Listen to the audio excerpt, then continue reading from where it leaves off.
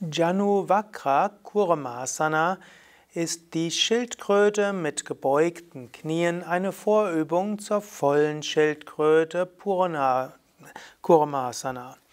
Kendra zeigt, wie es geht. Von der Sitzhaltung ausgehend beuge die Knie, gib erst die Fußsohlen auf den Boden und gib die Arme unter den Knien hindurch.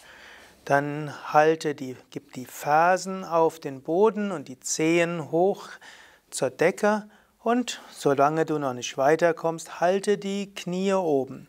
Für die Mehrheit der Menschen ist zunächst einfacher, die Handflächen nach oben zu geben und die Ellbogen leicht gebeugt zu halten und so ist diese Stellung leichter für die Ellbogengelenke.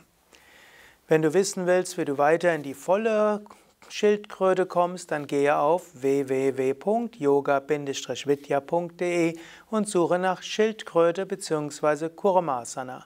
Das findest du natürlich auch in der Yoga Vidya App.